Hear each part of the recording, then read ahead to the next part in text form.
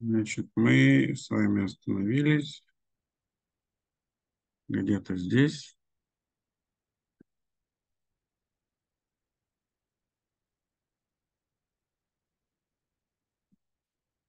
Остановились на трогательной истории такой, да.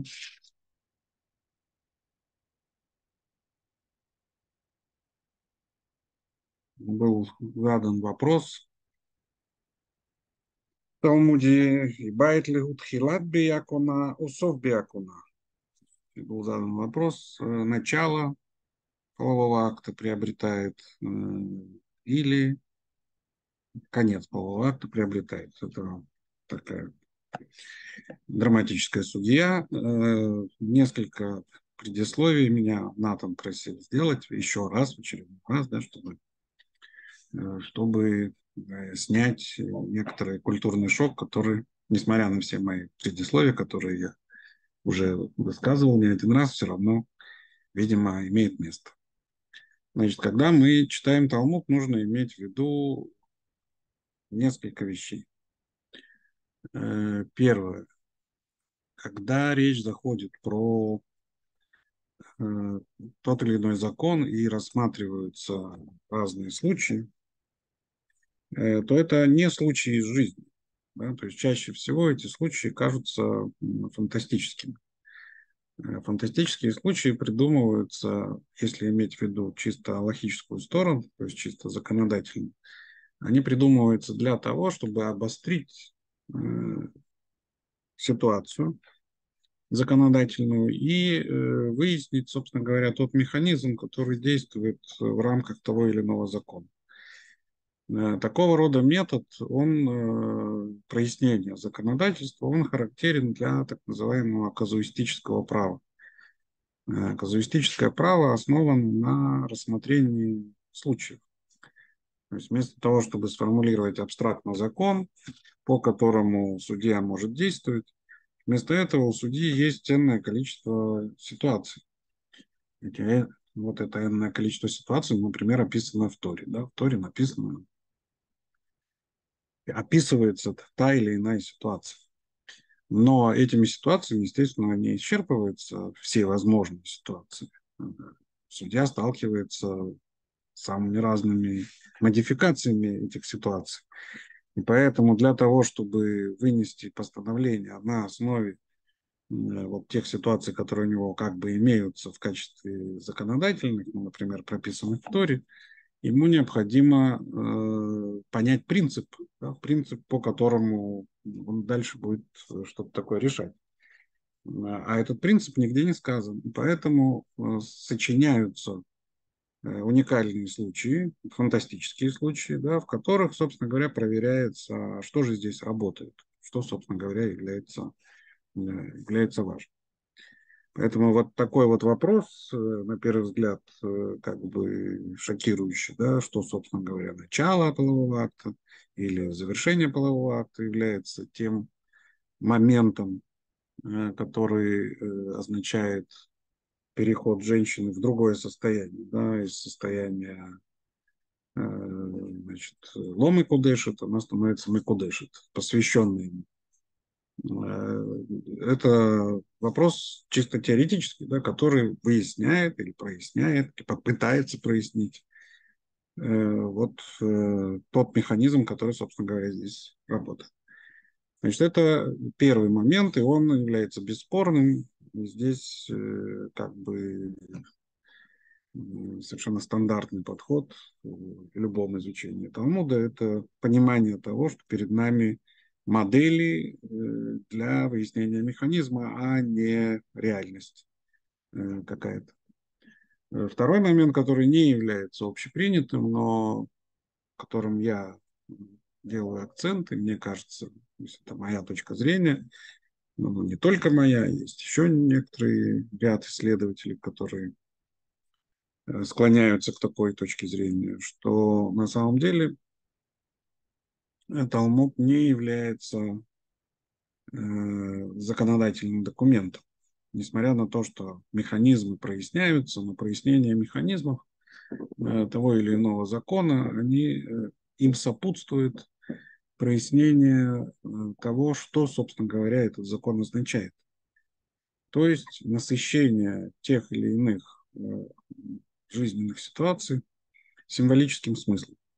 Этот символический смысл, он является чем? Он является проекцией глобальной э, картины, которая есть у мудрецов Талмуда. Это глобальная картина, как бы грубо, является историей взаимоотношения, скажем так, неба и земли. Это можно сказать. Да? То есть у нас, по сути дела, э, весь проект – это взаимоотношения неба и земли, небесного мира и земного мира где человек к этому небесному миру стремится или стремится соединить небесный мир с земным э, и прийти к э, состоянию, э, которое условно называется Эдемским садом, состоянию бессмертия, отсутствия зла и, и прочее. И вот этот путь, который определенным образом описан в Торе, пророков, э, имеющие свои, так сказать, э, падения, взлеты и так далее, он проецируется на э, те или иные жизненные ситуации, в том числе конкретного человека. То есть получается, что сакральная история проецируется не только на события, которые являются, скажем так, значимыми в истории, предположим, народа, да, но и э, история конкретного человека, она тоже оказывается пронизана вот этой самой символикой. И тем самым э, возникает то, что можно было бы назвать, и на самом деле сами мудрецы Талмуда, как это ни странно, называют это этим термином, то, что можно было бы назвать мистерией. Что такое мистерия? Мистерия – это актуализация мифа. Ну, какие-нибудь элевсинские мистерии, они в себя включали что? То есть, например, если это э, какая-то история о плодородии, значит, мисты, то есть те посвященные в эту ну, историю люди, которые это осуществляют, они как бы воплощают, например, миф, да, то есть, ну, не знаю, кого-то закапывают в землю, он потом воскресает, это означает, э, да, Э, плодоношения и так далее. То есть э, некая вот такая мифологема, она воспроизводится. Она воспроизводится, э, по-видимому, хотя мы не так хорошо знаем, что происходило в этих самых мистериях и так далее, но она, по-видимому, происходила в режиме иллюстративном. То, что мы знаем про мистерии средневековые, например, христианские, они действительно были мистериями иллюстративными когда целыми деревнями разыгрывались некие сюжеты писания в течение там нескольких дней. Э, и, значит, вот это тот или иной сюжет, он переживался, не знаю, целой, целой общиной. Э, это средневековые христианские мистерии. А в иудаизме, в э, талмудическом иудаизме, мистериальность, она осуществляется иначе. Она не является иллюстративной. То есть никто не пытается как бы разыграть, например, взаимоотношения Авраама и Сары, там, да, или Авраама и фараона и так далее. А, а, тем не менее, есть э, некая проекция на те или иные действия, которая не является иллюстративной, она как бы идет по какой-то странной, по касательной, да, с помощью, собственно говоря, мидраширования. Неожиданно оказывается, что э, да, то или иное действие связано, э, опять же, не прямо, а именно косвенно и опосредованно с тем или иным э, фрагментом Писания и, соответственно, с тем или иным э, символическим смыслом. Ну, у нас с самого начала, я напомню, да, что у нас, э, когда речь заходит вот про кедушин, э, удивительным образом это, например, э, кедушин с помощью денег учится, да, связывается с глаголом иках. Ки иках, иш, иша, как написано, да. А с другой стороны, этот же глагол иках, он встречается, когда Авраам покупает пещеру Махпел, чтобы похоронить Сару. Ну и, казалось бы, между этими двумя вещами вообще нет э, никакой связи. Но, с другой стороны, эта связь, э, конечно, есть, потому что, собственно говоря, э, приобретая пещеру Махпелу, Авраам в каком-то смысле приобретает землю. Да? И это одна из метафор. Метафора приобретения земли, когда земля рассматривается как Э, женское начало, да, народ рассматривается как мужское начало, и вот народ овладевает землю ну, в лице Авраама. И э, такого рода вещи, они запараллеливаются, запараллеливаются э, вот для того, чтобы породить этот самый символический смысл и тем самым обозначить э, какой-то аспект вот этих самых э, взаимоотношений. Когда-то в самом начале нашего вот этого курса, или не курс, не знаю, сначала это был курс, потом мы стали читать, дочитывать трактат Брахот, потом перешли к трактату Кедушин, но в записях это есть э, у нас, э, насколько я понимаю, вы, наверное, можно найти запись нашего занятия по Мишне трактата Кедушин. Я на том уроке объяснял, что первая глава Трактата Кедушин, она, собственно говоря, она, э, по сути дела, своей структурой указывает на различные типы взаимоотношений. Да? То есть вот эта метафорика, она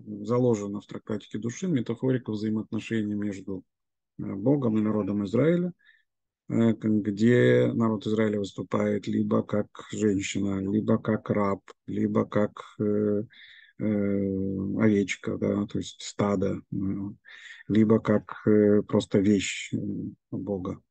И вот эти разные виды взаимоотношений, они, собственно говоря, рассматриваются в первой, в первой главе трактата Кедушин, в Мишне.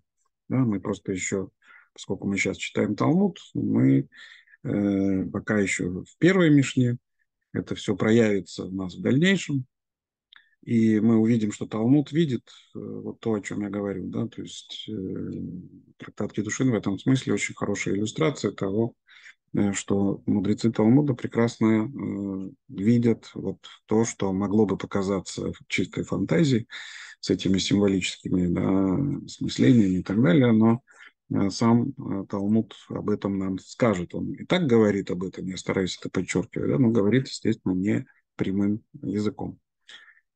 Ну, вот это еще одно длинное такое отступление. И поэтому, когда мы сталкиваемся, вот, например, с такой ситуацией, да, шокирующей, она у нас, значит, изучение вопроса, когда же во время полового акта, собственно говоря, осуществляется кедушин в начале полового акта или в конце, Талмуд дальше говорит о том, э, майна в камина, да, то есть э, какая разница. Э, и приводит э, случаи, когда эта разница очевидна. Один из, из случаев – это тогда, когда значит, один человек начал половой акт, она протянула руку и получила э, кедушин в виде документа или денег. Это еще два пути осуществления кедушина от другого. И тогда получается, что если начало полового акта является уже моментом, когда она становится Мекудеши, то э, то, что она протянула руку и получила души на другого, ничего не значит. А если э, наоборот, конец полового акта, то тогда получается, что она успела, так сказать, получить э, кедушин и стала женой другого, или, по крайней мере, стала посвященной другому. Э, опять же, если мы доводим до конца это, то, то отсюда следуют э, выводы довольно драматические, да, потому что тогда в конце этого полового акта окажется, что этот человек овладевает замужней женщиной, тогда их как бы обоих нужно, по идее, казнить. Да? Есть э, здесь драма довольно серьезная может получиться. Талмуд не идет в эту сторону и не описывает нам, что же, собственно говоря, может произойти а просто говорит о том, что вот э, важно знать, какой момент является решающим во время полового акта, потому что вот возможны такие случаи. Я говорил об этом уже, да, что на уровне символическом это может соответствовать тому, что происходило с народом Израиля, да, который Талмудом описывается как грешащая под свадебным балдахином невеста. То есть тогда получается, что, собственно говоря, тот акт между Богом и народом Израиля, который описывается в трактате Шаббат, э, он э, оказывается незавершенным, да, и э, народ Израиля вот развратничает под свадебным балдахином, э, строя золотого тельца. Да, и затем э, Моисей приходит и разбивает скрижали, которые как бы э, являются не пролившимся семенем, что ли так можно сказать, да. Э, например, так, так, такого рода да, аллюзия здесь э, может возникнуть. Ну и дальше есть у нас э, другой вариант, да, который мы подробно не обсудили. Это вариант, когда, э, то есть для чего еще может оказаться значимым. Это, это может оказаться значимым в случае первосвященника. И здесь Марина правильно совершенно сказала в прошлый раз, да, я посмотрел, действительно, про именно про Кагена говорится о том, что он должен жениться обязательно на девственнице. А про просто священника, просто Каэна, там говорится о том, что он не должен брать э, значит, э, развратную женщину, э, разведенную женщину. Да? Про девушку ничего не сказано в этом стихе. Да? Это 27 глава книги Вайкра. Там, собственно говоря, это описывается. Описание Кагена и э, первосвященника, они разные. Про Кагена подчеркивается, что он Э, должен взять в жены девственницу. И э, э, значит, Талмуд говорит о чем? Талмуд говорит о том, что тогда возникает действительно сложная ситуация, если он должен взять девственницу. И начало полового акта является главным моментом посвящения, то все в порядке. А если конец полового акта является э, на самом деле значимым, то тогда получается, что он овладевает уже не девушкой, да, то есть в тот момент, когда э, Кидушин должен, так сказать, вступить в силу, она уже не девственница, и тем самым э, он нарушает нарушает э, вот этот самый закон о том, что он должен взять жены только девственницу. Мы можем, конечно, хохотать и смеяться, да, потому что это же он, собственно говоря, сделал ее не девственницей. Чего же тогда э, придираться к этому Каину, который берет ее в жены. Но э, еще раз, да, э, во-первых, это абстрактность э, формулировки для выяснения того, что же это на самом деле, что же здесь происходит, а с другой стороны, это и, э, по-видимому, определенная символика. Какая здесь может быть символика?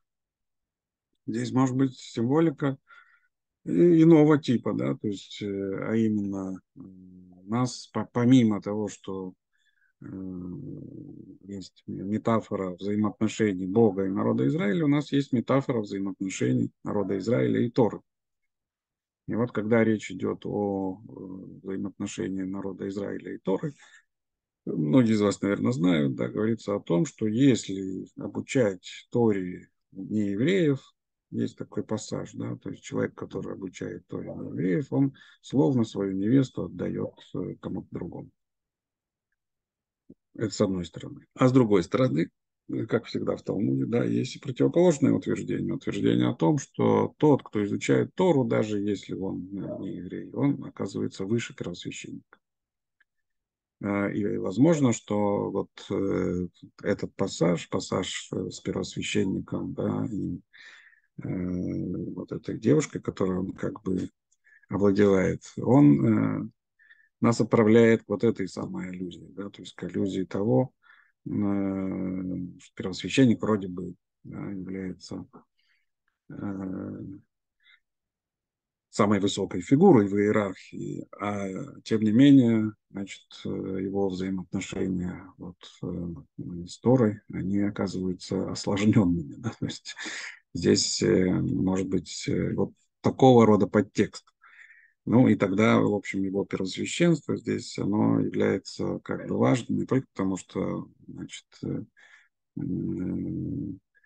указывается на то, что он должен владевать именно девственницей, но и вот с точки зрения того, о чем я сказал, да, то есть если переносить эту метафору на Тору, Э, то это довольно сложная история, да, то есть поскольку Торой, вообще-то говоря, должен владеть весь народ Израиля, а может быть даже и не только народ Израиля, то есть она должна распространиться, э, то получается, что она в каком-то смысле первосвященнику едва ли не запрещена. Ну, да? То есть священник должен взаимодействовать э, с Торой на, на каком-то ином уровне. А этого взаимодействия просто как бы и нет. Почему нет? Сейчас мы увидим, да? Потому что э, дальше Талмуд говорит, что Амара Меймар Мишмей Рава. Сказала Меймар со слов Равы.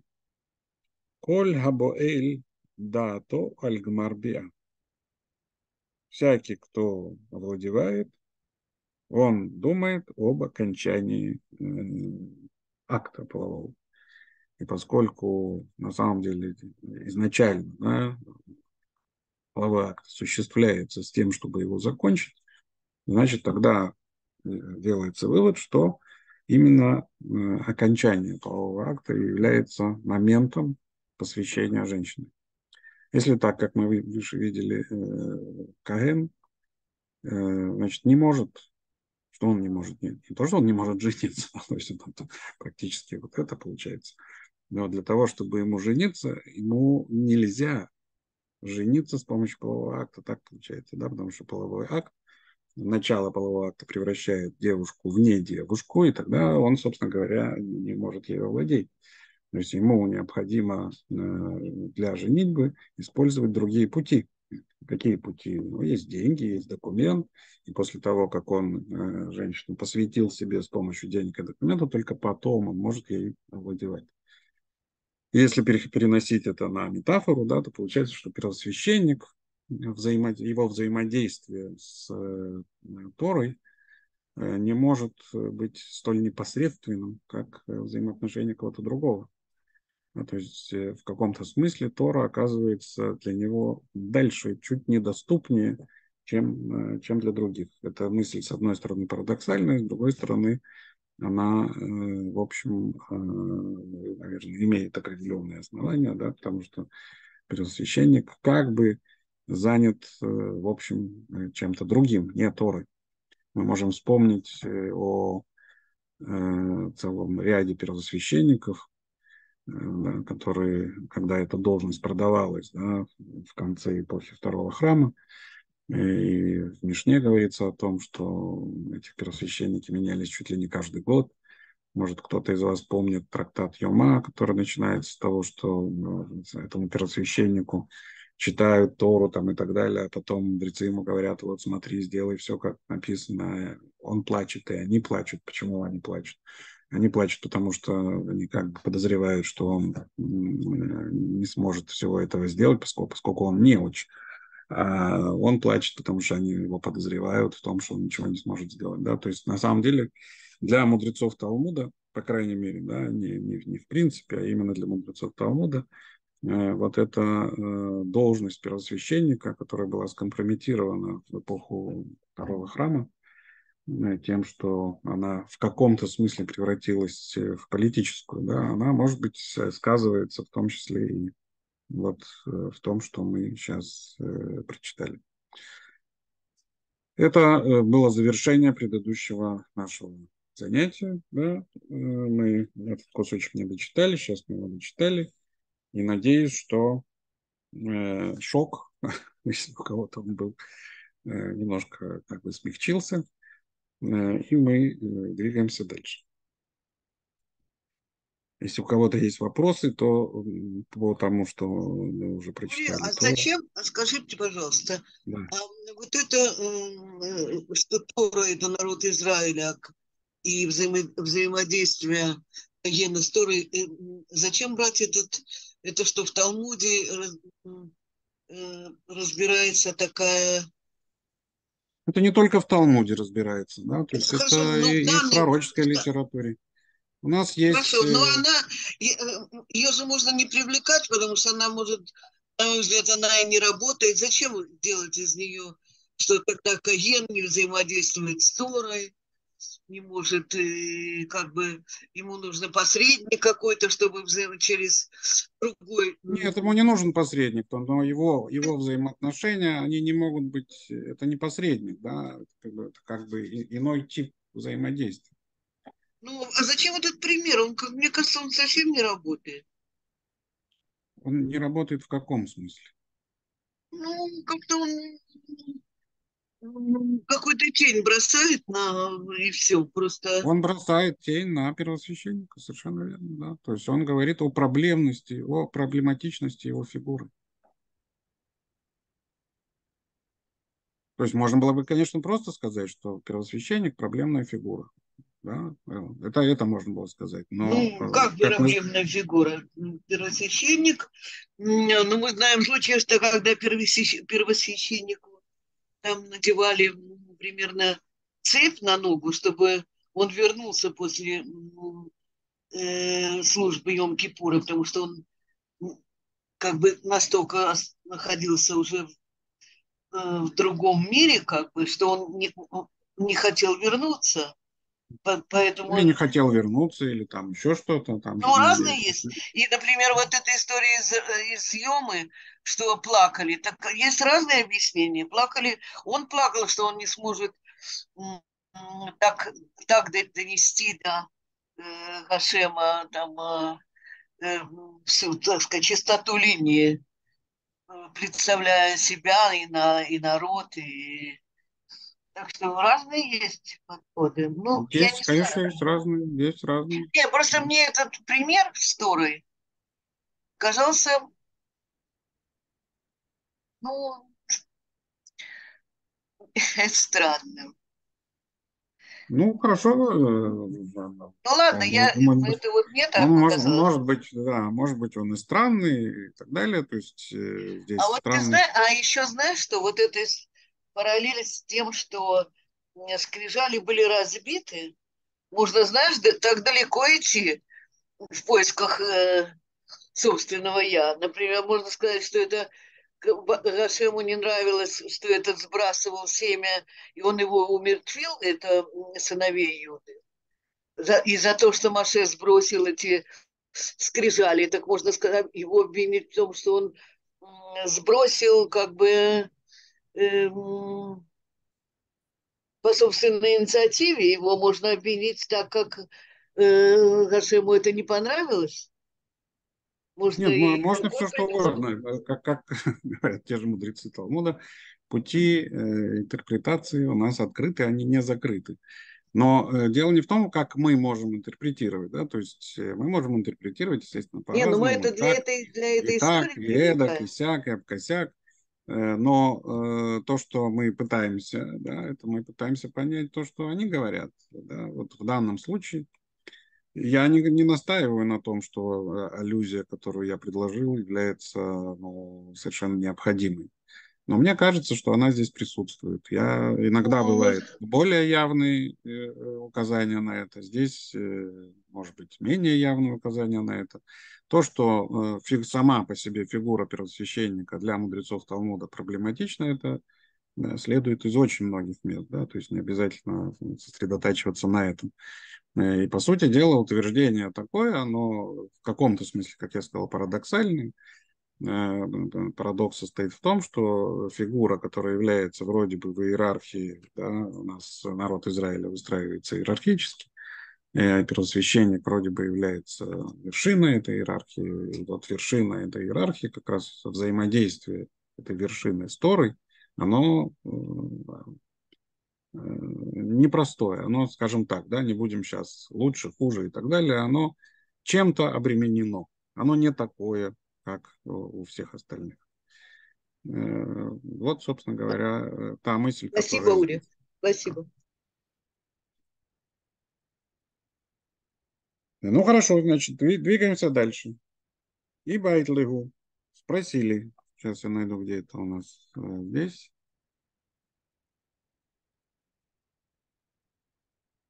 Мы вот здесь, да, вот спросили. Иба или гу? Бия несуинуса о ирусинуса.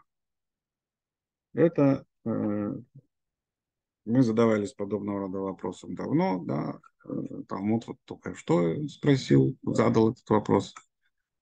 Э, и э, у нас уже были вот эти самые недопонимания да, относительно того, а что же, собственно говоря, происходит, когда человек осуществляет кедушин. У нас есть ирусин и есть нисуин. Ирусин – это помолвка, а кедушин – это, собственно говоря, уже окончательное бракосочетание. А, так вот, когда Иш Макадеш, вроде бы Макадеш да, должно, наверное, относиться к э, изначально. Да, то есть э, Кедеш, значит, она его. А может быть, нет, может, она его, но не в, не, в полном смысле, она является э, помолвленной. И вот сейчас, собственно говоря, именно это, этот вопрос и задает Талмуд, но в отношении именно полового акта в отношении денег и документа. Почему-то этот вопрос не задавался, хотя и там он мог бы возникнуть. А здесь задается вопрос. Э, это э, уже окончательный брак, если значит, человек Макадеш с помощью полового акта, или это только Ирусин, помолвка. Навкамина, опять же, то, что отсюда может последовать, почему это важно. Да? Это знаменитый термин навкамина. Э, навкамина ли йорша, улитамеба, улегефер недарея. То есть это значимо для каких случаев? Для случаев, э, когда э, мужчина наследует ей или должен, если он каген, должен э, значит, э, ее хоронить и тем самым оказаться ритуально нечистым и э, отменять ее обеты. Мы знаем, что обеты отменяют, да, муж может отменить обеты или отец может отменить обет. И тогда получается что? Что если этот самый половой акт, это не несуин еще, а ирусин, то есть помолвка. Если это помолвка, то девушка остается уже не девушка, да, но она остается в доме отца на какое-то время до Нисуин. И э, тогда, собственно говоря, этот, если она вдруг умерла, то наследует отец. Если она э, высказала какой-то обед, то отец может отменить еще, а не муж. И если да, она умерла, он, если он Каген, он не идет ее хоронить потому что он с ней только, только помолвлен, она еще его не жена, а, а, так сказать, э, принимать на себя ритуальную нечистоту можно только э, в том случае, если она его жена или э, близкий его родственник.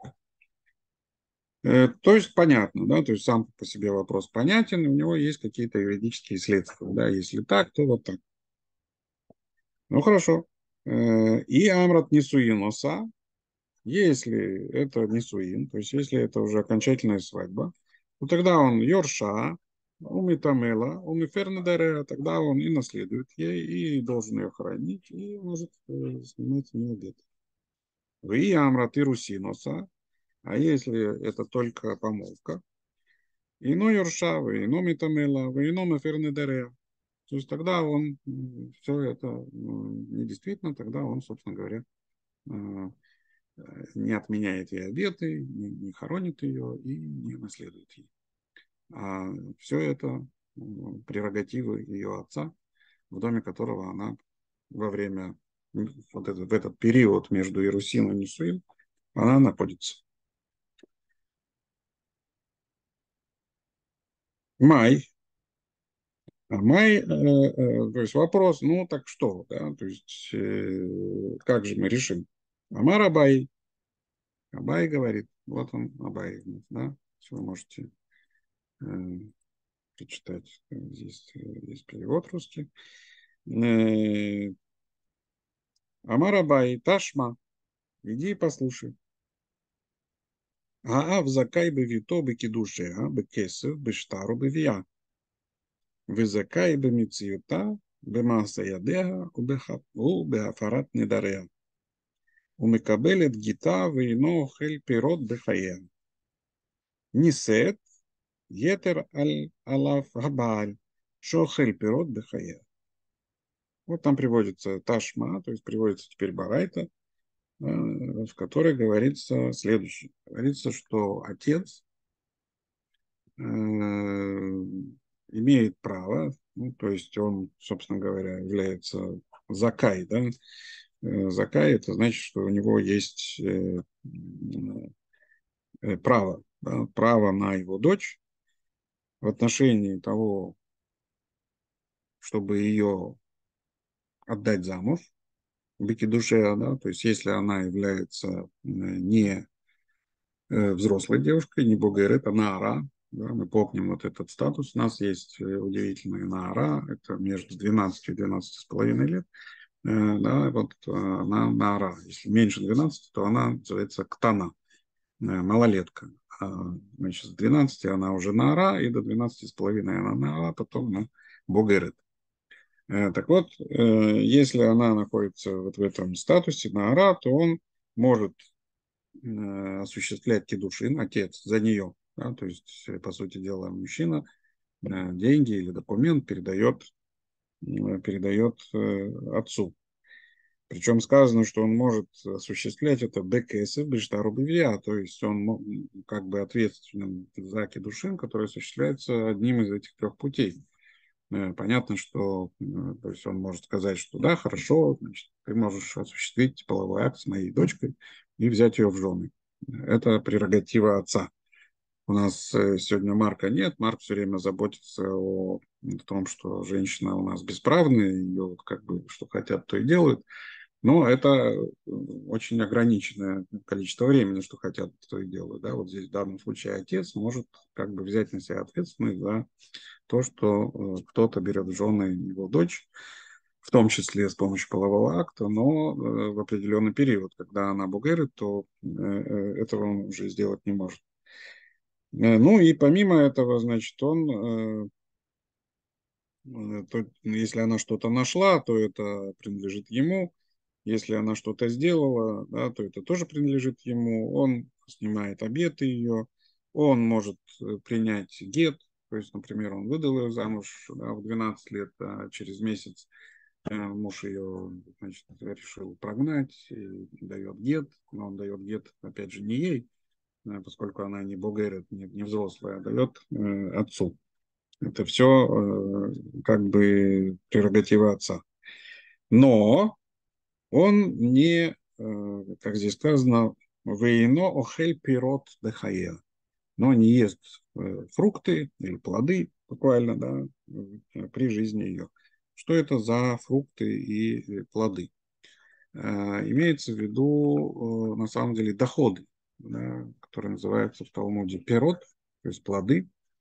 Имеется в виду доходы, ну вот здесь переведено как прибыль, у него нет права, видите, вот он перевод, у него нет права на прибыль от ее имущества при ее жизни. Да, вот эти самые плоды, это не что иное, как э, вот эти самые доходы, которые дает ее э, значит, э, принадлежащие ей по линии матери, не знаю, акции, да, например, какие-то, вот у меня есть акции, которые подарила мать, и эти акции растут, приносят какие-то доходы. И вот эти доходы, они отцу не принадлежат. А дальше в этой э, барайте говорится о том, что э, Нисет, то есть если она вышла замуж, причем вышла замуж окончательно, Нисет, да, Нисет это значит, вот, собственно, Нисуин произошел, э, то тогда у муж, мужа ее есть преимущество над отцом. Какое преимущество? То есть у него все те же, да, все те же вещи, значит, э, э, которые э, прерогатива, которых, э, прерогативы, которые э, имеет отец, муж ее тоже имеет все, все те же вещи, все те же прерогативы. То есть если она что-то нашла, это принадлежит мужу, если она что-то сделала, это принадлежит мужу. Э, но у нее есть отдельно ее э, недунья, так называемая, да, то есть ее э, имущество отдельное от мужа. Так вот, муж, в отличие от отца, может, имеет право также на прибыль от ее имущества при жизни. То есть, на самом деле, эта барайта, которую нам привели, она, вообще-то говоря, скорее направлена на прояснение каких-то имущественных взаимоотношений между мужем и женой, да, и в сравнении с тем, э, какое право на, на, так сказать, на дочку имеет отец, на несовершеннолетнюю, да, э, в отличие от э, мужа. У мужа есть больше прав, муж может пользоваться вот этой самой прибылью от ее имущества, в отличие от, от отца. Но эта барайта нам приведена зачем? Это же, собственно говоря, барайта, которая должна была ответить на вопрос, Э, что происходит с вот этой самой, с этим половым актом. Половой акт, он знаменует собой помолвку, или половой акт знаменует собой э, окончательную э, окончательную женитьбу. Вот Люба спрашивает, термин кедушин относится и к Несуин, и к Ярусин? Это и есть вопрос. Да? То есть это, это, собственно говоря, вопрос, который задает Талмуд. Эм, то есть вот кедушин, он же Мекадеш, там, он Мекадеш ута бывия, то есть он с помощью полового акта ее Мекадеш. Э, и Талмуд спрашивает, это будет у него Ирусин или это будет у него Нисуин. На самом деле, как я уже сказал, то же самое можно было спросить про деньги и про документ. Когда он с помощью денег, вот ее Макадеш, он дает ей деньги и говорит, а, Макадешит ли? Она говорит, да, да, да. Э, за, там, не знаю, 100 монет. Она говорит, да, ок, я это хорошо, согласна. Это будет Ирусин или это будет уже Кедушин? Э, можно как бы понять, почему Талмуд не спрашивал э, в отношении денег или документов. Может быть, это не так острый, не, не, не такой острый вопрос. Про половой акт он гораздо острее. Почему он острее? Потому что если это как бы только помолвка, да, а еще не окончательная, э, не, не окончательная свадьба, то есть он, он не окончательно становится ее женой. Э, хочется интуитивно подозревать, что она должна была бы стать его окончательно женой. Но если она только помолвлена, то э, расторгнуть как бы помолвку гораздо проще, чем расторгнуть брак. Да? У мужа нет да, пока еще никаких серьезных обязательств. Когда брак заключен, он должен уплачивать ктубу там, и так далее, и так далее. Пока брак не заключен, э, это э, гораздо проще. И тогда я имею сейчас чисто юридический аспект. Да? И если он вдруг решит, что значит, это помолвка, ну, я решил отказаться, то девушка оказывается, уже не девушка, да, она оказывается в, э, в худшей ситуации экономической. В том плане, что э, талмудическое законодательство говорит о том, что девушка и не девушка, да, их э, вот эти кто бот, они отличаются. Да, то есть это будет 50 монет или это будет 100 монет. В два раза. Да, то есть в два раза меньше получает не девушка. Поэтому, ну, как бы интуитивно хочется сказать, что, ну, раз уж человек, так сказать, с половым актом решил Ликаде, что, наверное, э, наверное, это должен быть уже не Суин, а не Кедушин. Можно про деньги и документы, может быть, можно гадать, а вот с половым актом, казалось бы, нет. Но пока у нас такого ответа нет, это ответ, который нам кажется естественным и напрашивается, а пока что нам э, говорится следующее. Вот Барайта, которая вообще-то говоря не об этом, она говорит о экономических взаимоотношениях, э, казалось бы. Но в конце этой барайты, приведя эту барайту, Талмуд говорит «катаны бия, вы не сет». Получается, что в этой барайте есть, что значит, этот самый отец, он с одной стороны, да, он вроде бы может осуществить вот этот самый кедушин для своей дочери, в том числе с помощью э, полового акта. Половой акт там не исключен, да, там сказано, что, что он, значит, закай бевитоби кедуше, бекесев, бештару, бевия. То есть все три э, вот эти способа да, кедушин, они перечислены. И поэтому упоминание слова бия есть. Да, и это относится вроде бы к э, области отца. А потом сказано, а когда она не сет, то есть когда состоится Нисуин, тогда все это переходит к Баль. И отсюда, это немножко сложно, но тем не менее, да, то есть мы могли бы поспорить с этим, но тем не менее отсюда Абай хочет заключить что? Что значит Бия, которую отец мог э, как бы одобрить, да, то есть половой акт, который отец одобрил, и сказал, что да, хорошо, это еще не, не суин, это еще только помолвка. Э, так, здесь э, у Ильи вопрос. Если момент завершенности кедушин, в какой момент мы можем сказать, вот теперь точно замужем? Ведь после помолвки и свадьбы еще есть стерпится, слюбится. Нет, нет, здесь как раз э, нет никакой размытости. То есть э, Нисуин – это все, брак состоялся. Здесь помолвка, которая имеет э, тоже определенного рода следствия. Ну, например, мы видели, да, с помолвленной девушкой, если кто-то соблазнил помолвленную девушку, то, значит, они, если это происходило в городе, например, то смертная казнь и тому и другому. Потому что в этом смысле она является, как бы считается замужней. Э, потому что она уже мекудешит, то есть она уже отделена. Поэтому термин кедушин, да, может относиться к помолвке, как к тому, что женщина уже отделена. Она еще не жена, но она уже отделена для этого мужчины, и другие э, значит, с ней не имеют права иметь дело. Но когда заключается брачный договор, не суин, как бы это ни происходило, да, то теперь все, нет никакого стерпится, слюбится. А это э, кедушин завершен. Да, или?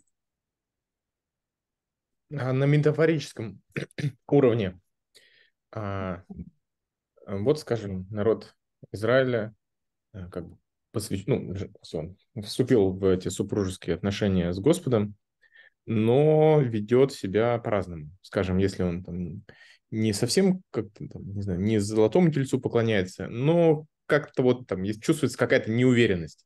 Это мы все равно э, бы, замуж? Да, нет, нет, или это, это, правильно, это правильный вопрос, да, то есть а дальше у нас э, возникает, естественно, вопрос о том, и что же, э, что можно сделать, да, ну, как мы знаем, у нас есть такое понятие, как гет, гетин, развод. То есть то, что если народ Израиля, так же, как и жена, собственно говоря, ведет себя не очень, это тоже как бы отдельный вопрос, что значит, что жена ведет себя не как проецируется на взаимоотношения между мужем и женой, взаимоотношения между Богом и народом Израиля, это, это как бы тоже любопытный вопрос. И он э, подробно рассматривается как раз в трактате Гетин. Есть целый трактат, да, который посвящен этим разводам, и, например, разрушение храма и все, что происходит, оно, собственно, так и осмысляется, осмысляется как развод. Э, так вот, э, муж может э, свою жену прогнать, если что, если что не так. Тоже возникает вопрос, что не так, что именно не так, да, то есть в каком смысле она должна его не устраивать или что-то в этом роде, чтобы он имел право да, ее прогнать и так далее. Может ли он ее вернуть? Тоже отдельный вопрос. Да? Прогнал окончательно или прогнал не окончательно? Здесь, здесь как раз можно сказать, что история да, сакральная история рассматривается именно как э, вот это напряжение. Это мы сейчас э, в разводе или как, или мы немножко как бы нелюбимая жена, что-то в этом роде. Э, это мудрецы Талмуда как раз рассматривают, это мы видели в трактате Проход. Да, или? Э, да, но тут уже с моей стороны не вопрос, а как бы дополнение. А, есть ситуации, в которых гет прописан, а между как бы хорошим браком и гетом миллион разных э, состояний. Скажем, вот мужчина и женщина поженились, и она все вспоминает там своих бывших. Это как бы это гет или нет? Ну, то есть она все говорит, хорошо же мне жилось одной, ну и так далее и тому подобное. Вроде как не повод для развода, но мужа это очень напрягает. И таких состояний... Ну, просто... ну да, да, нет. И он как бы ей спрашивает, слушай, ну ты как бы со мной или не со мной? То есть ставит вопрос. И здесь то же самое. То есть мы как То бы же самое абсолютно, да. Если мы читаем пророческую литературу, все пророки про это говорят, да. да. Ликуй, там, бездетная, не рожавшая, например, там, или что-то в этом роде, Исаия будет говорить, или еще кто-то говорит. Да, ты невеста юности, невеста юности моей, ну и так далее, да, то есть это как раз, э, это даже до Талмуда, да, то есть в пророческой литературе Эта метафора, она является метафорой очень распространенной и работающей. И она по-разному, естественно, у разных пророков она по-разному осмысляется, да, то есть где-то там это развратная женщина, которую Бог бросил, а потом возвращает к себе, где-то это э, ну, э, ту, которую он решил как бы не, слегка наказать, а потом вернуть и так далее.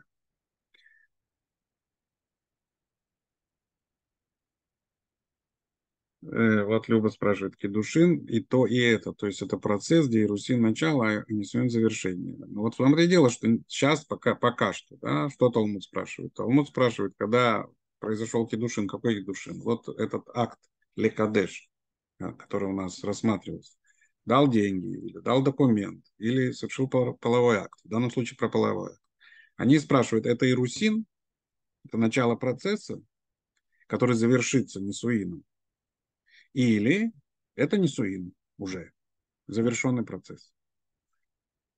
Э, самки душин э, как раз они пытаются сейчас э, выяснить, к чему он относится. Да? То есть он относится к помолвке, тогда есть еще дальше процесс, который завершится не суином. Сам процесс не называется кедушин тогда, в этом случае.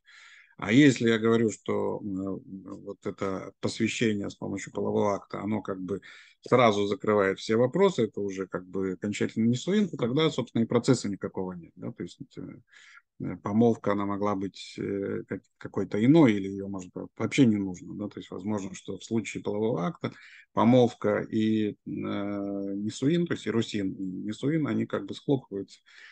Э, опять же, это имеет свои следствия, естественно, для вот того самого события, события поклонения Золотому Тельцу, да, в каком статусе э, пребывал народ Израиля, в статусе помолвленной, Меуресет, или в статусе уже законной супруги. И тогда, например, разбитие скрижали можно по-разному. Вот Элла сказал, что можно по-разному интерпретировать, да, разбитие скрижали можно по-разному интерпретировать.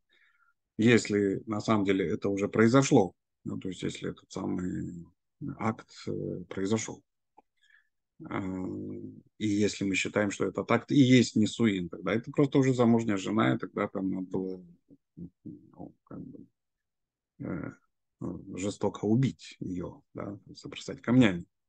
Или же это помолвник. Там тоже, правда, бросать камнями. Ну, ну, в общем, э, здесь есть, э, опять же, простор для определенного рода размышлений, интерпретаций, но э, само по себе здесь важно, еще раз я подчеркну, важно то, что э, для мудрецов Талмуда любая жизненная ситуация, она не является проходной, она не является как бы э, э такой вот обыденной повседневностью.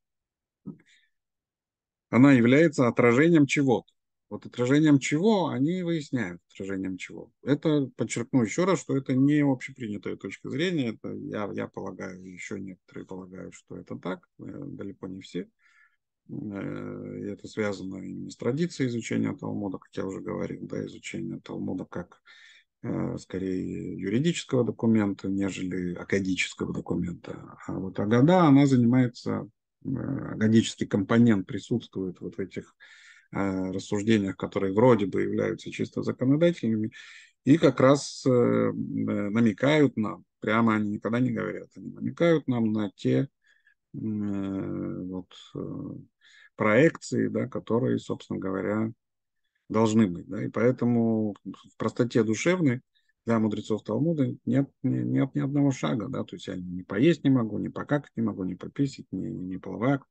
Все это несет определенного рода символический смысл и отправляет меня к тому или иному событию сакральной истории, которое э, как бы переосмысляется, трансформируется и так далее. Да? То есть это, э, если вот таким образом Э, на это смотреть, а мне кажется, что именно таким образом на это надо смотреть, то э, это приобретает э, совсем иной, иное звучание. Это не значит, что мы всегда и с, полным, значит, с полной уверенностью можем вскрыть вот этот, этот аспект. Да? То есть этот аспект является аспектом непроявленным в силу того, что сам сам тип говорения таков, э, что он должен быть непонятен никому, кроме нас, вот это между собойчик. Да? То есть мы, мы все понимаем, мудрецы Талмуда имеется в виду, а человек со стороны нет. Э, и если бы традиция, в том числе традиция изучения Талмуда, сохраняла вот это самое э, агадическое облако, которое покрывает, так сказать, Аллаху, то, наверное, мы бы сегодня обладали этими сведениями в лучшей степени, да, то есть мы бы могли обратиться к комментаторам, э, которые занимаются этим облаком. Но заниматься этим облаком агадическим комментаторы стали очень поздно, да, то есть у нас первые агадические комментарии, причем отдельно взятые, да, годы, то есть, например, э, Рашба, Шлома бен Адред, да, это у нас 14 век, может быть, да, то есть, э, например, Раши или Баали Тософот, софисты, они в некоторых случаях, они, может быть, тоже намекают, но они тоже прямо не говорят, да, то есть э, можно в их комментариях иногда, может быть, у нас будут такие примеры, можно к ним обратиться, иногда можно увидеть то, э, что они тоже говорят о вот этом самом символизме. Э, но прямо они об этом тоже не говорят. И поскольку вот это не прямо говорение, оно пришло к тому, что у нас возникла определенного рода немота в этом отношении, да, то нам э, сегодня это очень тяжело. И поэтому, ну вот какие-то мои слабые попытки да, обнаружить какие-то аллюзии и так далее.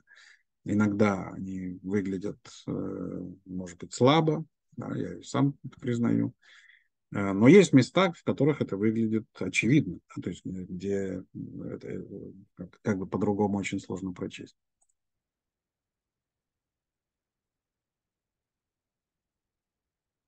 Нет, это тогда в трактате Шаббат. Это прямо говорится, да, но, но это же тоже мы делаем что? Мы делаем допущение определенное того, что здесь э, тоже говорится о том же, о чем говорится в трактате Шаббат. Э, здесь есть некоторые допущения, да, и с этим можно спорить, сказать, что а здесь вообще не об этом говорят, здесь говорят про кетушин и не имеют в виду никаких метафор. Мне кажется, что имеют. Ну, как я уже сказал, я это пытался показать и на уровне Мишны. Ну, и мы с этим столкнемся еще не раз, да, и э, как, как я уже говорю, что я уже сказал это, что в некоторых случаях это э, очень ясно, да, то есть вот здесь это не очень ясно, а в некоторых случаях это очень ясно, и ну, там не нужно такого э, напряжения и спора, как бы быть, э, даже, может быть, и не может. Ну, это такие яркие случаи, их, э, может быть, не так много в Талмуде, где вот этот аспект проявляется, но, но они есть. Ну хорошо, значит, мы поняли, да, то есть мы поняли, каким образом сейчас нам попытались э, доказать, что это два разных э, события. И пока на данном этапе получается, что э, половой акт – это Ирусин. Да, а Кедушин еще будет. Кедушин еще будет. Ну, и поскольку в Барайте говорится сначала про отца, а потом про мужа, а про отца упоминается этот самый половой акт, который находится в его э, ведении, как бы он может его разрешить или нет. А потом говорится про женитьбу, значит, получается, что половой акт – это только помолвка, а не, не суин. Э, это пока что, да? На это Кикатан и Нисет Ашара – какой ответ? Это вот здесь. Ямара не согласна. Да? То есть Талмуд говорит, нет. Э, можно опровергнуть э, вот это доказательство. Доказательство, которое был, использовало эту самую Барайту и э, пришло к такому выводу, что э, Павлак это только помолвка. Э, Кикатани нисет ашара – это про остальное. Ну, вот нам приводят здесь э, комментарий Раши. Да, давайте его прочтем. Когда в заключительной части Мишна говорит, что дочь стала замужней, она хотела сказать это относительно остальных способов педушин, но не близость. Сначала она посвящена при помощи денег или документа, и это еще не несуин, это помолвка. Но если была посвящена при помощи близости, то, возможно, близость сразу делают несуин.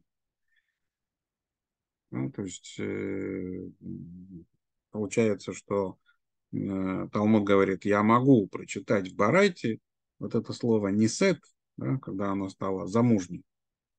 Имеется в виду э, другие способы. Не э, половой акт. Какие другие способы? Вот с помощью денег или с помощью документа. Это было пока она остается в доме отца, это помолвка.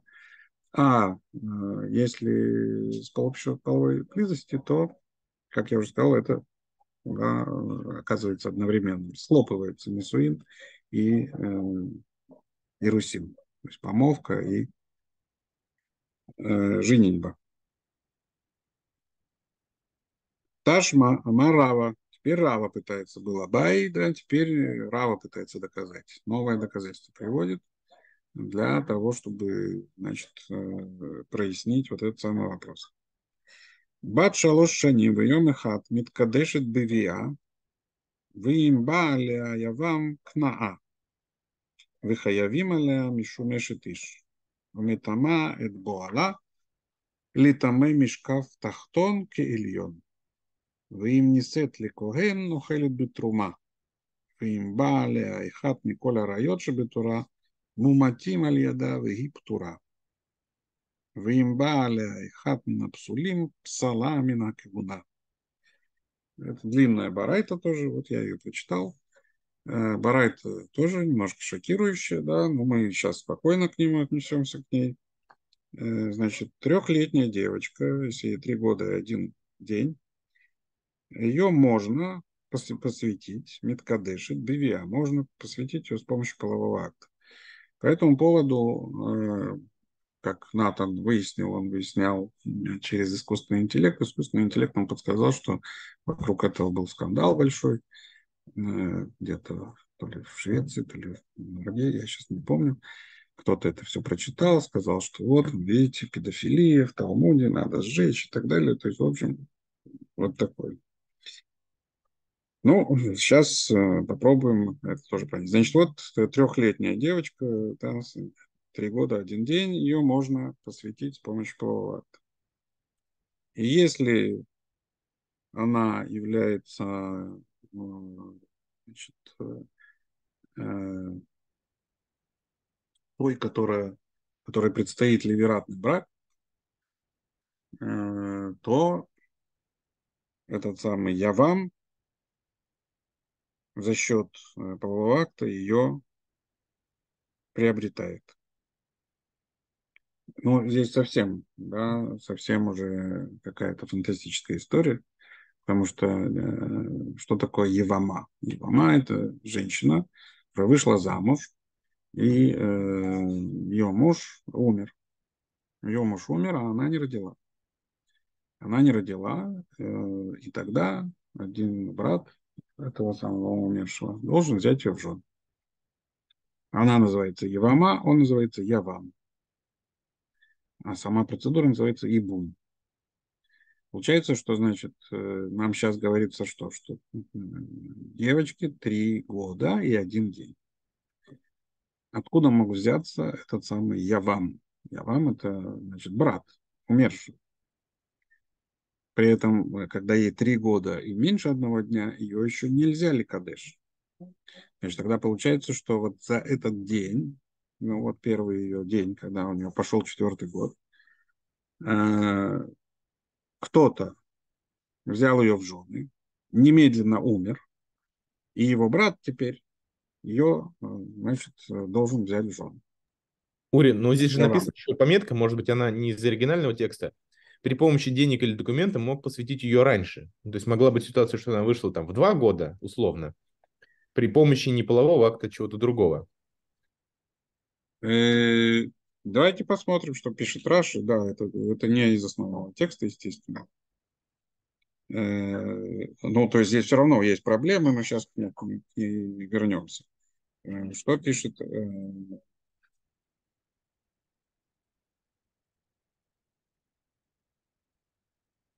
Что пишет Раши? Э, Миткадешит Бевия, Медата Ав. То есть, ну, понятно, он добавляет, что это отец ее как бы говорит, да, хорошо, одобряю такую свадьбу. Аваль поход микан кенотен эцбабе айн. Но если ей меньше, то это все равно, что пальцем ткнуть в глаз. И это не считается просто половым актом, то есть если ей меньше. Раша ничего не пишет про э, то, каким образом значит, э, Э, может появиться этот самый Явам. Да, то есть можно ли девочку меньше трех лет отдать в жены с помощью документов денег, я думаю, что нет. Я не уверен в этом на сто процентов, но мне кажется, что нет. Просто если ей меньше трех лет, то она как бы не считается еще женщиной ну, в смысле, фигурой женского рода, скажем так. И поэтому ее невозможно. То есть вот этот «я вам», он э, э, появляется только как, э, как бы вот за этот один день. Но даже, даже предположим, да, даже предположим, что значит, брат этого человека каким-то образом раньше ее сделал своей женой и умер. Но ее не нужно как бы приобретать, она же не могла родить. Да? То есть, вообще-то говоря, это Евама, это что? Вот этот самый человек не оставил наследника. Но здесь он и не мог оставить наследника, да? она же не, не может родить э, эти свои годы. Э, ну хорошо, э, значит, дальше, э, если кто-то с ней совокупился, то это все равно, что совокупление с замужней женщиной.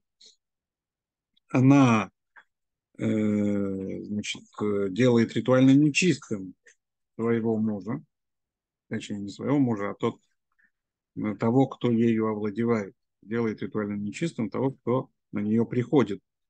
Э, почему-то переводчик здесь решил употребить слово «приходит», видимо, от слова «бия», хотя здесь написано «боала», то есть овладевает ей, когда она в состоянии неды, да, это менструальный цикл. Трехлетняя девочка, что-то мне как-то, да, вроде бы это никак. И тем не менее говорится о том, что она, значит, делает нечистым того, кто, если она находится в состоянии ритуальной нечистоты, то тот, кто ей одевает, он тоже становится ритуально нечистым. Причем ритуально нечистым в очень строгом смысле, да, если он садится на какой-то предмет, принимающий ритуальную нечистоту, этот предмет становится тоже нечистым. Вот здесь это более подробно говорится об этом. Да, он э, делает ритуально нечистой подстилку, на которой сидит или лежит, или да, э, то, что на, него положили. Да, то есть здесь сказано тахтон кеильон. То есть если его накрыли там чем-то, да, то это принимает ритуальную чистоту, то это тоже становится ритуально нечистым, так же, как у человека с истечением. То есть это очень такой строгий статус ритуальной нечистоты, который, собственно говоря, э, связан э, с любым соитием, да, если человек осуществляет соитие с женщиной, находящейся в состоянии ритуальной нечистоты.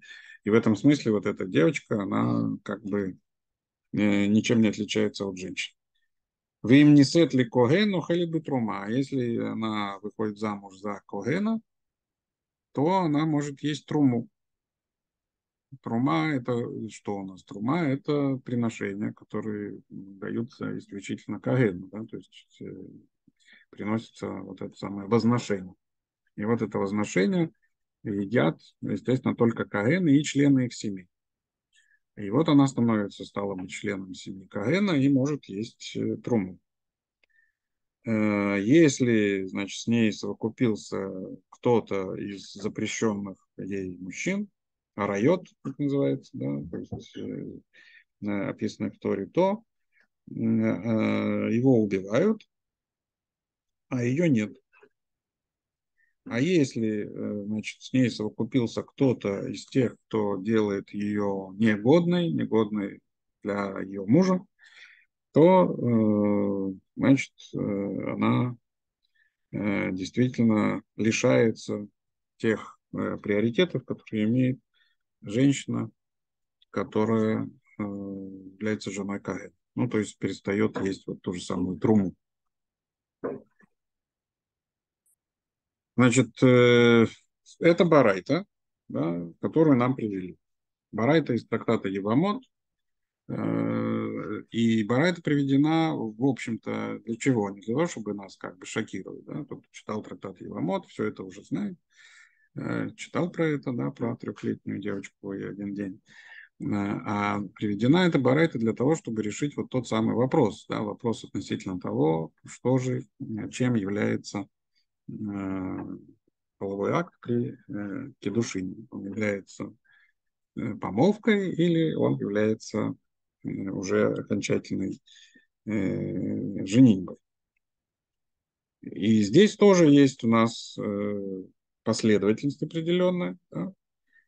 Э, там говорится катаны биа, и катаны нисет. То есть и здесь, и в этой барайте, как и в прошлой барайте, есть э, употребление да, Миткадешит BVA, то есть она может быть посвящена с помощью полового акта, а потом говорится о том, что она не сет. Не сет это значит не суин. И, собственно говоря, из того, что э, две эти вещи разнесены, да, то есть сначала сказано бия, а потом сказано не сет, получается, что Половой акт – это только помолвка, а нисет – это нисуин. Это я имею в виду чисто технически, исходя из э, вот этих самых рассуждений. Теперь, если говорить про саму эту барайту, да, чтобы как-то ее переварить, э, то здесь нужно, наверное, иметь в виду э,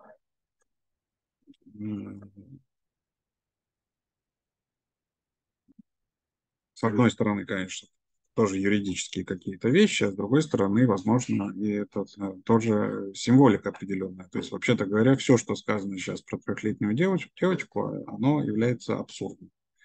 Ну, то есть ее менструальный цикл, это как бы невозможно.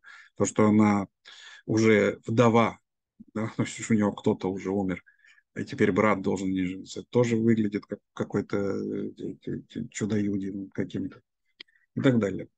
У нас есть э, в Писании, есть комментарий, опять же, это Писание само, а комментарий к Писанию, да, что Ривка э, вышла замуж за Ицхака, когда ей было как раз три года и один день. То есть три года и один день как бы как э, некая символическая цифра. Мы, например, про Бат Митсу никогда не задумываемся, почему 12. Ну, 12 нормально, 12, 13, мальчика 13, девочки 12 ну так, ну, по зрелости и так далее. Но на самом деле не исключено, подчеркиваю, я не настаиваю на, опять же, на этом, а говорю о том, что такое возможно. Э, возможно, что здесь играет роль э, символика, э, символика цифр, о которой я вам рассказывал уже много раз, сейчас еще раз повторю, для тех, кто к нам присоединился. Символика у нас какая? У нас есть три. Три важные цифры. Три – это своего рода такая пространственная или онтологическая полнота. У нас есть три праца, да, у нас э, есть три праздника Шалош Регалим. У нас э, Шалош – это, в общем, э, некая основа. Да, то есть э, э, вот такая вот э, онтологическая или пространственная полнота. А четыре – это сверхполнота. Ну, поэтому там четыре стакана нужно выпить, да, или четыре проматери, опять же. Э, четыре, на самом деле эти наши три праздника превращаются легко в четыре, да, потому что там у нас же есть Сукот плюс Шмини Ацерет, то есть это еще один праздник, да, их получается не три, а четыре. Э, четыре на четыре локтя, это, собственно говоря, минимум суки, да, и вообще аура человека так определяется, ну и так далее. Есть целый ряд э, вещей, которые связаны с цифрой 4. Э, цифра 7 – это у нас э, темпоральная полнота. Очень понятно, это как с этим как раз трудно спорить. Да? Это у нас неделя, недельный цикл, 7 э, дней творения – это темпоральная полнота. И поэтому у нас ну, там, субботний год, там, шута, милуим и все остальное – это все 7 дней. Но 7, который дополняется 8, восьмерка. Восьмерка – это сверхполнота. Э, и поэтому у нас восьмерка это Шмини Ацерет, например, да, или Шавуот, он тоже является как бы восьмеркой, потому что 7 и 7, 49, да, это 7, 7 недель, а дальше появляется вот эта самая восьмерка, на восьмой день делается обрезание, ну и так далее. Э, возможно, я не исключаю, что здесь э, тоже имеется в виду вот этот самый, это, это символика. И, и, и мы не задумывались о том, что 12, что такое 12. 12 это, это 8,4, 12 колен Израиля. Да? То есть это как раз э, является такой сверхполнотой. У нас, правда, эта сверхполнота допол- дополняется еще одной. То есть колен Израиля это у нас 12, но на самом деле 13 как мы знаем. Да? Сеф, он является как раз четвертым праотцем, который то ли, то ли праотец, то ли не праотец, в каком смысле праотец, тогда он четвертый, тогда у нас возникает вот эта сверхполнота, и э, тогда колен Израиля 13. Поэтому именно с этим э, я не исключаю, связано 12 лет как совершеннолетие девушки и 13 лет как совершеннолетие мальчика. А три года – это в каком смысле начало, да, то есть основа вот три, три праотца на уровне этих самых трех прац народ Израиля уже готов, его уже можно ликадеш, то есть его уже можно осуществить вот этот самый кедушин, или, или нет. Как э, гипотеза, не настаиваю совершенно на такого рода прочтении, но э, то, что, э, например, Ивка э, именно такого возраста, оно, э, наверное, тоже не случайно. Хотя на самом деле у нас есть э, разные комментарии на это э, в разных источниках. Да, это Седер Улам говорит, что ей было 3 года. Есть мнение, что ей было 12 лет. Тоже не случайно. Есть мнение, что ей было 14, что, возможно, тоже является некоторой игрой с вот этими, с этими цифрами и в. Поэтому э, приведение как бы вот этого фрагмента, который на самом деле сейчас не даст доказательства, как, так же, как и тот предыдущий, который привел Абай, э, вот это доказательство Равы сейчас будет тоже отвергнуто и так далее. Мы э, дальше сейчас не продвинемся на этом, наверное, остановимся. Но э, сама эта барайта, да, и она приведена очень легко, на самом деле, опровергнуть даже надо, потому что, смотрите, здесь сказано «Вы им не сет легкоген». Ведь бияка, про которую говорилось в начале этой барайты, это просто да, ну, э, то, что она может не кадышит бивия, там не сказано ли коген. Вроде бы речь идет о любом человеке. А э, нисет связывается с кагеном. И, собственно говоря, сейчас ответ э, на этого Барайту или от, от снятие этого доказательства, оно как раз пойдет вот по этой линии, где э, нам скажут, что ну подожди, подожди, что ж ты говоришь, там была бия, то есть половой акт, потом было замужество, но замужество относилось к Каину, оно не относилось вообще, и поэтому из этой барайты ты вывести ничего не можешь. Э, когда мы сталкиваемся вот с такого рода доказательствами, которые немедленно отвергаются, и даже мы, так сказать, не те, кто не в курсе, легко могли бы догадаться, как это отвергнуть. Э, это говорит о чем? Это говорит о том, что приведение этих барайт на самом деле не имеет своей целью э, прояснения, да, то есть не имеет своей целью э, реально что-то доказать, а имеет своей целью ввести в оборот, в разговор ну, вот какую-то тему. Да? То есть, ну, например, вот эту тему да, э, трех лет, трехлетней э, девочки, которая, э, естественно, что этот как, как бы закон сам по себе он повторяется, да, то есть Рамбам будет писать Мишна Тора, вот все как, как в Талмуде, что трехлетняя девочка может там-то все, пятое, десятое. Э, правда, уже в средневековых источниках у нас, э, ну, более того, в талмудических источниках, у нас будет указание на то, что вообще, это я сейчас опережаю как бы немножко события, что вообще тот человек, который осуществляет кедушин с помощью полового акта, должен быть побит, э, да, то есть он наказывается с 39 ударами. Поэтому в каком-то смысле это рассуждение совсем оказывается теоретическим, оно как бы не имеет в реальной э, судебной практике Талмуда не, не, никакого смысла. Когда возникает вопрос, а что же вы обсуждаете это, если у вас есть такое постановление, что вообще так не делают, нельзя. Когда-то, может, делали, сейчас нет, запрещено по тем или иным причинам. А обсуждаем мы ответ, да, который мне кажется справедливым, обсуждаем мы потому, что это имеет э, дополнительный смысл, да, то есть это имеет символический смысл, который э, как раз э, здесь, так сказать, мелькает, да, он ясно не проступает, он только мелькает. Ну, мы сейчас остановимся. Вот Марина говорит, читала статью, где предполагалось, что возраст Ривки Мидраши приведен как мнемотика для запоминания закона о том, что девочка до трех лет всегда девственница. В этом месте в Торе впервые упоминается Бетула. Да, это, это действительно такое тоже есть. Да. Лояд Аиш, да, то есть до трех лет считается, что она как бы не, не, не, не познана. Э, Ну да, и Мария добавляет, что в соответствии с метафорическим подходом такое объяснение не может быть верным, поскольку мудрецы Талмуда отталкивались от метафорики в определении Аллахи, а не наоборот. Эм, справедливое замечание, да, то есть э, действительно можно, э, наверное, да, то есть можно представить себе, что э, Аллаха является иногда, да, хотя я не знаю, насколько это, это нужно проверять, да, что иногда Аллаха является тем, что подводит к определенного рода заключениям, а не наоборот. Но э, с моей точки зрения, э, почти всегда, по, крайней мере, в талмудической литературе, Аллаха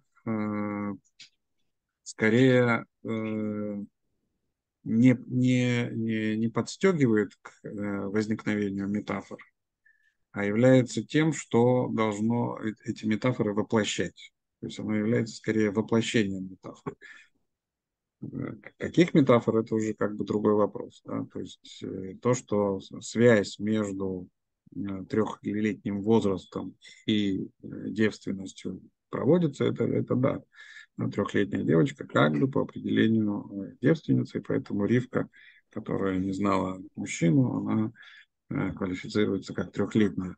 На самом деле Седер Улам это, э, этот вывод делает вовсе не, не вот из этого положения, а из определенного рода подсчетов. Когда родилась Ривка, и сколько лет было тогда Ицхаку, да, там это, об этом говорится. И вот с помощью определенного рода подсчетов у них получается три. Но, но это не исключает, одно другого не исключает, как бы, да, то есть, э, может быть, э, эта метафорика э, символическая, да, является основополагающей, а Аллаха уже э, использует это как некое воплощение этой самой метафоры. Но это очень скользкие темы, то, что вот я сейчас привел как бы как не, не, некое возможное прочтение. Я сам в этом совершенно не убежден, но э, как вариант предлагаю. Можно вопрос? Да. Может, я прослушал, но значит, насколько я понимаю, для кедушин, для приобретения женщины должно быть как бы передача какая-то, то есть что-то надо было дать, Э, женщине, вот, чтобы за что она, собственно, э, осуществляется это приобретение, она становится женой. Значит, в случае полового акта, о чем тут э, может идти речь, я как бы сам себе думаю, что мужчина передает свое семя. Семя – это драгоценность, это то, из чего может родиться ребенок. И из этого как бы получается, что именно конец полового акта является уже кедушин поддерживать. Вот. Теперь, если Э, взять символику, то есть, ну, я не знаю, допустим, можно считать, что скрижали это и есть как бы передача чего-то такого, за что, сказать, приобретается народ Израиля, то тут как бы сложная такая немножко ситуация, то есть Маше, который разбивает скрижали, он как бы как бы не знаю как, но получается, что это Шахадзер или Батала со стороны Всевышнего, как бы, но он как ну, бы да. тут не участвует, а, а он как бы но по-современному он как бы разбивает эту пробирку, в которой есть это зера, который Всевышний должен передать народу Израиля, чтобы его оплодотворить, чтобы он стал верующим. Ну, что-то в этом роде, да. Вот. Эм, и тогда получается, что значит, э, нужно было это все повторить еще раз. Вот. И из этого как бы следует, что э, значит, э, если это именно так, то, то есть первое, то, что было встреча с Всевышним, это было Ирусин, а вот потом передача скрижали, это уже было Несуин. Ну, вот. например, да. Да, и тогда получается... Можно, можно так это осмыслить, да. Да, что вот в смысле, я не знаю, ли это рассматривается так, начало и конец, и как связано... Э, не, не... Нет, это нигде не рассматривается, это я предложил так рассматриваться. Так Талмуд а. не будет, конечно, об этом говорить никогда вот в таких Нет, я имею в виду конкретно, что даже без этой символики, то есть э, мужчина должен что-то передать, кроме удовольствия и всего, все это должно быть чем-то ну, материальным. Ну, передать, ну, если грубо говоря, вот он передает да, свой да. половой орган, да. он передает, и от этого, в общем, есть Это тоже не рассматривается такой подход? Нет, почему нет, нет, в таких терминах нет, да, то есть э, мы, мы сами уже можем сделать вывод, что действительно mm-hmm. здесь происходит какой-то то есть акт э, кедушин, он должен подразумевать какую-то передачу чего-то, совершенно верно. Да, то есть вот документ, или вот э, деньги, или, или какой-то их эквивалент. Когда мы говорили о деньгах, там речь шла о том, э, в чем, собственно говоря, суть. Суть в том, что женщина получает удовольствие или нет.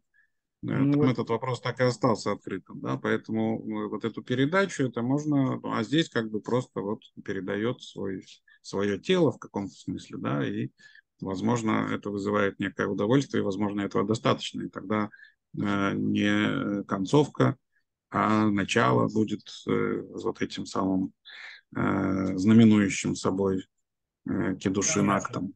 Вот еще такой Но момент. Талмуд, мы, мы видим, да, что делает Талмуд. Это вообще буквально два предложения. Да, все, больше, больше, больше про это нам ничего не расскажет. А вот, э, значит, насчет девственности, тут тоже как бы вот насчет Коина, то, что это расщепляется как бы на две части, вообще в целом это немножко проблематично, тут логически чисто, но даже если расщепляется, то значит, э, получается, что э, девственность э, это недостаточно, просто нарушена там какая-то попытка полового акта. То есть девственность теряется, имеется в виду потеря девственности – Э, то, что выносится там простыня с кровью и все такое, это только символ того, но имеется в виду, что произошел полноценный акт. Именно это является потерей девственности, а не просто как бы какие-то чисто внешние изменения. Ну, мы видели, что, что говорится даже о том, что если это, это так был анальным, то и это тоже может считаться в определенных случаях потерей девственности.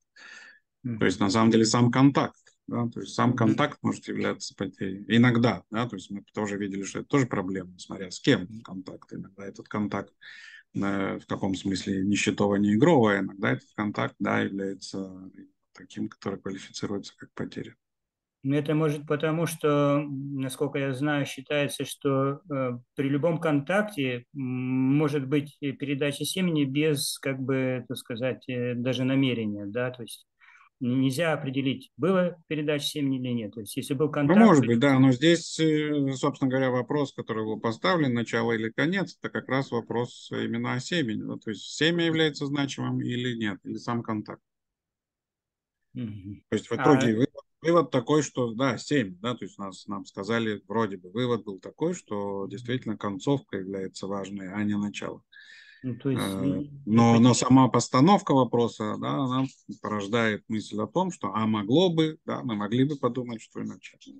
Я думаю, потеря детственности, то есть она связана с тем, что допускается, что, то есть невозможно это проверить, но э, вполне могло произойти передача семени даже значит, без этого намерения. То есть детственность все-таки тогда, получается, теряется именно из-за передачи семьи или как бы какой-то вероятности передач семьи. Ну, я не знаю, это я так логически рассуждаю, а что там на самом деле, я не знаю. То есть как-то ну да, нет, мы, мы никто не знаем на самом деле, да, то есть когда мы рассуждаем об этом ну, дальше, да, берем этот, эту модель и ее как бы пытаемся раскрутить, то это все равно будет наша гипотеза, да, то есть найдем ли мы какие-то основания, нет, видите, Талмуд в этом смысле вот нам привели эту два предложения. И вроде все, эта тема оставлена, она не всплывает. Посмотрим, посмотрим дальше.